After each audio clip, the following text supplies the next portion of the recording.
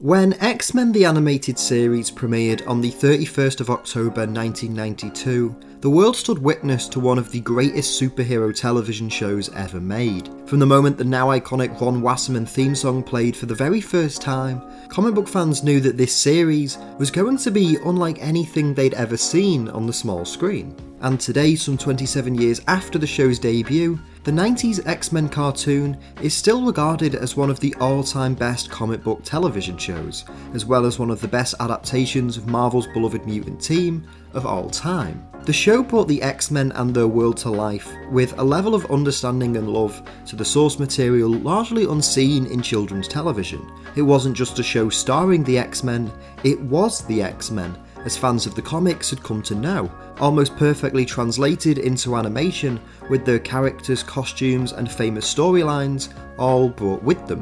Which makes it all the more fascinating that the 1992 X Men animated series wasn't actually Marvel's first attempts to bring Charles Xavier's Merry Mutant team to life, and in actuality, the show we eventually got came about as a result of compromises and changes made to a much different, earlier attempt at an animated X Men TV series. So, in this video, I want to break down the real history of how X Men the animated series came to be, and the almost realised pilot that would have fundamentally changed everything we know about Marvel animation today, and how its downfall and demise eventually paved the way for one of the most seminal, iconic, and beloved animated shows of all time. Although the X Men animated series that we know and love came about in the early 1990s, the history of Marvel adapting their heroes for animation actually dates back to the 1960s, with the company spotlighting a number of their most popular characters in the Marvel Superhero Show, before greenlighting standalone series for both Spider Man and the Fantastic Four in 1967. It's almost surprising knowing that Marvel were producing shows featuring their flagship heroes for television from this period onwards, that it took until 1992 for the X Men to receive their own series. But honestly, it wasn't for lack of trying.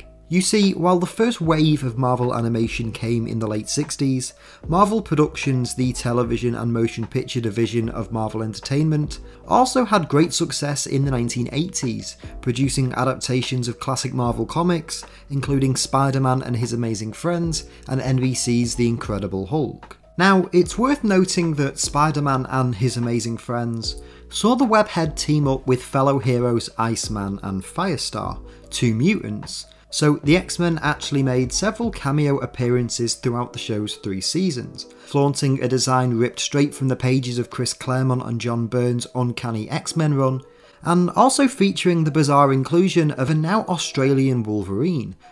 Want a piece of fruit? Voiced by actor Neil Ross. Eventually, after a number of appearances in the Spider Man series, Marvel began working on a pilot episode for a new X Men show in the same vein, siphoning off money from the company's short lived Robocop animated series to put together a first attempt episode at a show that would attempt to bring to life the beloved X Men of the late 1980s. And eventually, in 1989, this came to fruition in the form of a pilot episode entitled Pryde of the X Men.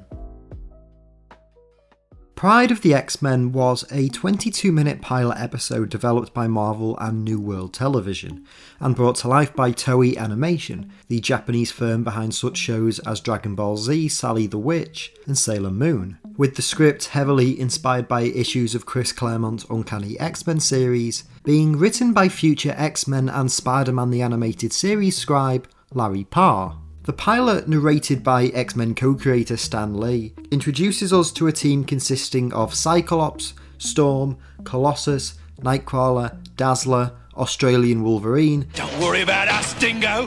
I'll make sure we can. And newcomer Kitty Pryde, who, under the leadership of Professor Charles Xavier, attempt to save the world from Magneto and his Brotherhood of Mutant Terrorists.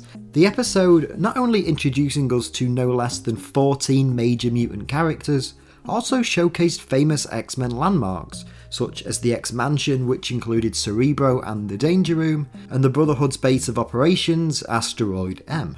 The overall plot of this pilot is campy to say the least, as Magneto attempts to redirect a comet onto a collision course with Earth, blocking out the sun for years and plunging the planet into an ice age. The climax of the pilot sees the X Men face off against the Brotherhood on Asteroid M, as the comet travels closer and closer to Earth. In the end, though, the X Men defeat the villains, and Kitty Pryde uses Magneto's power to redirect the comet to instead crash into Asteroid M, with the heroes valiantly flying away aboard the Blackbird as the comet collides with the villain's base. For her heroics, Kitty begins her initiation as a member of the X Men, though is warned by Australian Wolverine. So the kid got lucky. That don't make her an X-Man. Not yet. While the pilot was certainly a little rough around the edges, the potential for this to become a successful X Men series was there. So I guess the big question is what happened? Well, not long after the pilot was developed in 1989, Marvel ran into some financial difficulties, eventually leading to their parent company New World Entertainment selling Marvel to MacAndrews and Forbes, a holding company owned by businessman Ron Perelman. Now, this change in ownership meant that production on Marvel's various animated shows were halted, with the new owners ultimately deciding to ditch the likes of their promising X Men series in favour of more child orientated shows, notably Jim Henson's Muppet Babies. With Pryde now dead, the likelihood of an X Men series ever being made seemed bleak. That is, until the former president of Marvel Productions, Margaret Loesch, took over as the head of Fox Kids in 1990, buying the X Men TV rights and actively putting together a new pilot episode. Saban Entertainment was contracted to produce the show, who worked alongside Graz Entertainment to develop scripts, designs, and storyboards, with this new pilot being animated by South Korean studio AKOM.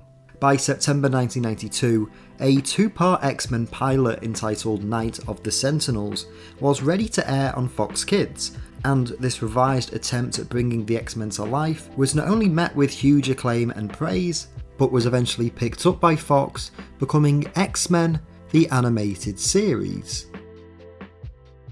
In a lot of ways, the pilot episodes of X Men the Animated Series weren't too far removed from what Pryde had attempted three years prior. Although the visual influence had moved on from John Byrne's late 80s X Men to that of Jim Lee's new version of the team that debuted in 1991, a lot of the core traits of Pryde were carried over into the new series.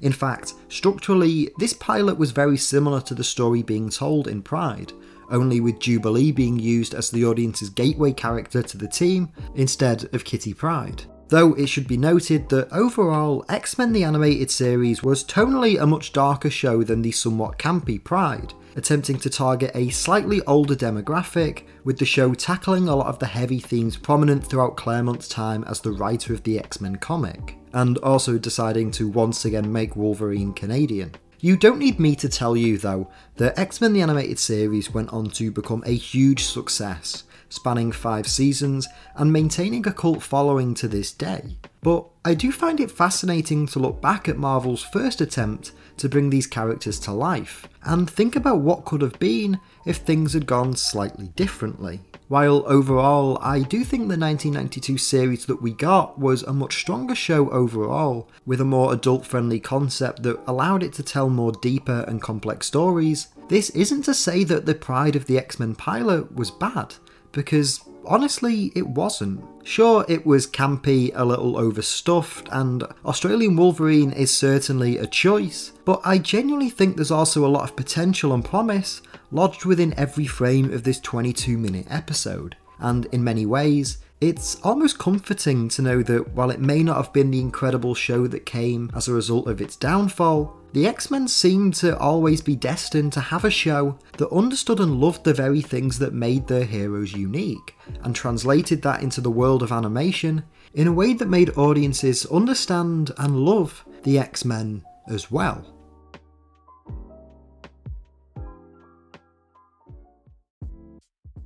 Hey everyone, thank you so much for watching today's video. I hope you enjoyed it. If you did, please make sure to leave a like on the video and leave a comment down below as well. Let me know your thoughts on Pryde of the X-Men, the cancelled X-Men TV pilot. Would you like to have seen the show, or are you glad that we got the X-Men cartoon that we ultimately got? If you're new to Owen Likes Comics, please consider hitting the subscribe button and the little notify bell next to it so you never miss another video. And if you enjoyed this one, there should be some other videos on screen right now that you might also enjoy. If you want some more of me, you can follow me on Twitter just at Owen Likes Comics. And if you want to help support the channel, there are links in the description to both my Patreon and my Ko-fi. But that's all for this video. Thank you all for watching. I'll see you all next time. So until then, take care and keep reading.